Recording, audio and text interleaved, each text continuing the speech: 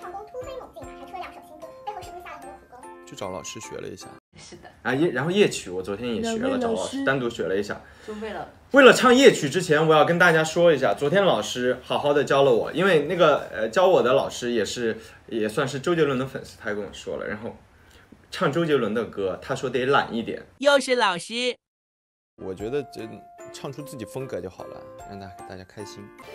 绝对的名场面，龚老师帮我找调。哎，别这样是是是，不重要。不是，张震撼唱的怎么样不重要，龚老师唱开心了最重要。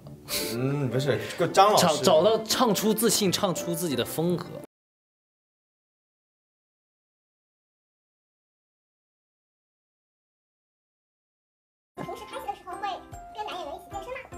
之前有，现在没什么时间。你不能去外面健身了呀，大家都会认出你，有点麻烦。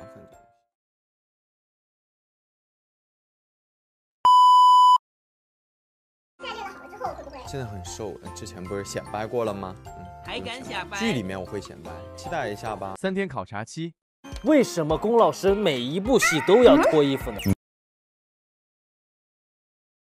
西装含在身上，《城市花园》里面有很多西装，大家可以尽情期待一下，各种颜色的西装都有。内心 OS，尤其是我老婆的西装和我们的情侣装。